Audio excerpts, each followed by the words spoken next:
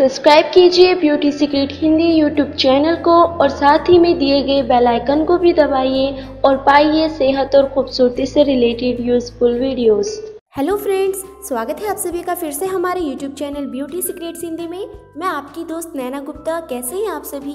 दोस्तों, आज मैं आपके साथ एक बहुत ही रिक्वेस्टेड वीडियो को शेयर करूँगी। मुझे काफ़ी लोगों ने कमेंट किया था कि मैम बाल बहुत सफ़ेद हैं, इसके बारे में कुछ इफ़ेक्टिव रेमेडी बताइए। फ्रेंड्स आजकल बालों का सफ़ेद होना एक आम हो गया है।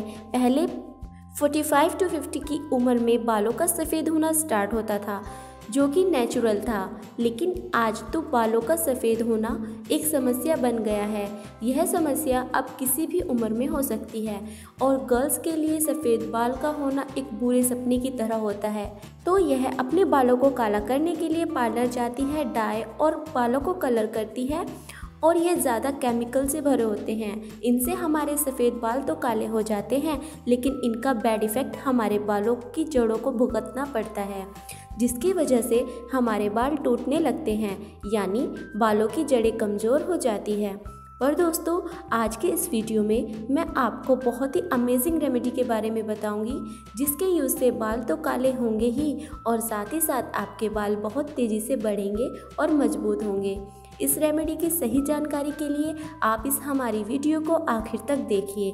और यदि आपने अभी तक हमारे चैनल ब्यूटी सीक्रेट हिंदी को सब्सक्राइब नहीं किया है तो प्लीज़ इसे अभी सब्सक्राइब कर लीजिए और साथ ही दिए गए बेल आइकन पर भी क्लिक कीजिए ताकि आपको हमारे चैनल की न्यू वीडियो की नोटिफिकेशन मिलती रहे। तो चलिए जान लेते हैं इस रेमेडी को बनाने के बारे में। इसके लिए आप एक बाउल में दो चम्मच काले तिल को पानी में भिगोकर आधे घंटे के लिए ऐसे ही छोड़ दीजिए। आपके पास काले तिल नहीं है तो आप सफ़ेद तिल का भी यूज़ कर सकती हैं। पर बेहतर यही होगा कि आप काले तिल का ही यूज़ कर दीजिए। आधे घंटे के बाद आप इसके पानी को अलग करके तिल को मिक्सी में डालकर इनका एक फाइन पेस्ट बना लें। अब आप इसको एक बाउल में निकालें और उसमें दो चम्मच अदरक के जूस को डालें। आप अदरक के जूस को अदरक को ग्रेट कर कर भी निकाल सकती हैं। अब आप इसमें एक चम्मच शहद और टू वाइटामिन ई कैप्सूल्स को डालकर इनको अच्छे से मिक्स कीजिए। जब यह अच्छे से मिक्स हो जाए तो आप इस मिक्सचर को अपने हेयर के स्कैल्प पर अप्लाई कीजिए और आप चाहे तो आप इसको अपने पूरे बालों पर अप्लाई कर सकते हैं।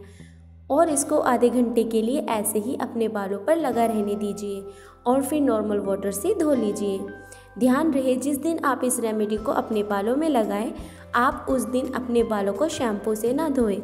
अगले दिन आप अपने बालों को शैम्पू से धो सकते हैं। आप इस रेमेडी को हफ़्ते में सिर्फ़ एक बार यूज़ करें। इसके चार बार के यूज़ से आपको आपके बाल हमेशा के लिए ब्लैक नज़र आएँगे और इससे आपके बालों की ग्रोथ भी फास्ट होगी क्योंकि हमने इसमें काले तिल और अदरक का जूस मिलाया है। यह बालों को लंबा और घना और काला करने के लिए बहुत ही हेल्प करता है। और यह मिक्सचर आपके रीग्रोथ में भी बहुत ही ज़्यादा हेल्प करेगा। ये बहुत ही अच्छी रेमेडी है। आप इसे ज़रूर ट्राई कीजिए और मुझे अपना फीडबैक ज़रूर शेयर कीजिएगा।